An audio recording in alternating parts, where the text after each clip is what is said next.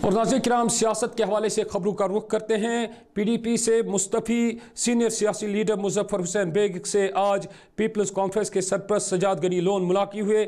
मौसूफ ने आज मुजफ्फर बेग के साथ उनकी रिहाइश गाह पर मुलाकात की।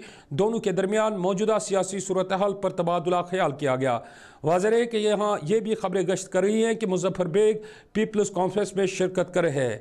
इधर शाम देर गए बावसूख जराए से हमें यह भी खबर मौसू हुई है कि सीनियर लीडर मुजफ्फर बेग ने पीपल्स कॉन्फ्रेंस में शमूलियत इख्तियार कर ली है। हमारे घर के साथ बहुत पुराने ताल्लुकात हैं। बहुत पुराने ताल्लुकात हैं। और बचपन में पाला है उन्हें हमें। और अपनी सियासी ज़िंदगी की शुरुआत भी उन्हें पीपल्स कॉन्फ्रेंस से की। तो एक भतीजे के नाते पर मैं अपने साथियों के समेत आया था बेग साहब से अपना हक मांगने के लिए। और अलहमदिल्ला उनने वो हक अपना जो मेरा बनता है वो हक मुझे दे दिया।